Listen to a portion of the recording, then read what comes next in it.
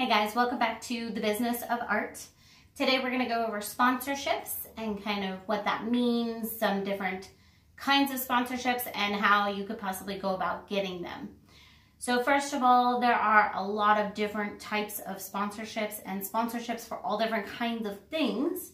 So there's art supplies, of course, as an artist, that's ideally what you want, but there's also even clothing, tech gadgets, makeup, um, candles, you know, like really all kinds of things.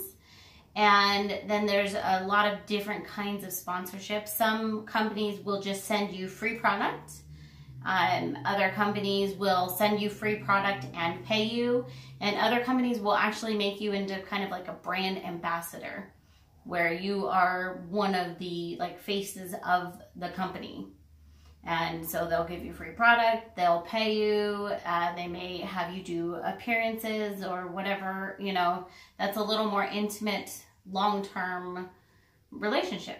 So um, sometimes companies will just send you a product to try out, and then you can go from there and develop a relationship with them. So to start with, I would start by first of all making a list of all of the products that you use and all of the companies that you're already using their products because that's a great place to start.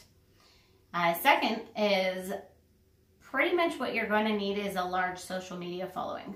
The whole point of companies sponsoring you is that you're going to basically help them promote their products. So if you do not have a following or an audience, then there's not you're not really going to be able to help promote their products. Now that could be anywhere. That could be YouTube, that could be Twitter, that could be Facebook, Instagram any social media platform or all of them of course but any one of them even. If you have uh, you know a hundred thousand instagram followers you're going to be able to get sponsorships. Um, and different companies will be looking for different things. Some you know you may be able to start start getting sponsorships at 5000 or 10000 followers. Uh, others will expect you to have a hundred thousand or 500,000 or, you know, even more, depending on what, what they're looking for.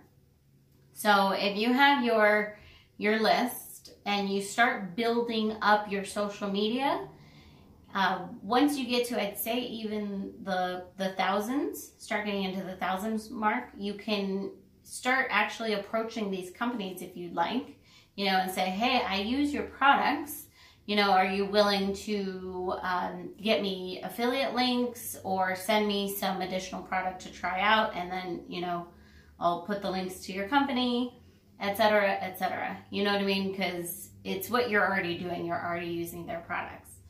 And then when you get larger, you'll likely have companies start contacting you, asking you to try out their products or to work with them, etc. So that you'll do at your own discretion.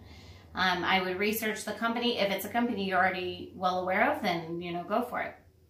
One policy I personally have too is I have to not only like the product, but I have to like the company. So if I, there have been times that I've tried out products and I love the products, but the company, I just didn't feel like I would be able to work well with them.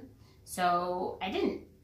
And that's okay. And I've had other people approach me and say, hey, I will pay you you know, to mention my product on your channel and whatnot, and it just was something I wasn't really interested in. So there is that factor too. You do need to be able to keep your integrity in on that and, um, you know, keep your own counsel of what is a good idea and what is not. Definitely don't sell out because then your followers will know. Their followers will no longer listen to you because they'll be like, oh, this, I can't really trust what they say. They're just, you know, telling me products so they can make money or whatever. You know what I mean? You have to be very transparent and honest. So, um, I hope that was helpful. That goes into kind of some of the types of sponsorships and how to start getting them. The biggest thing is you're going to need to build up a social media following, whichever one you're the most comfortable with. And generally speaking, around 10,000 is when companies start wanting to work with you as kind of, you know, sponsor you and kind of be an ambassador. You can kind of be an ambassador of their products. So hopefully that was helpful. I definitely say get out there and get it. Don't be afraid to ask for what you want. You know, you miss 100% of the shots you don't take. and you get some of the ones you do take. So you might as well try. It doesn't hurt. If they say no, they say no. If they say yes, awesome, you know? And uh, let me know if you have any questions. Don't forget to subscribe if you haven't already, and I'll see you next time.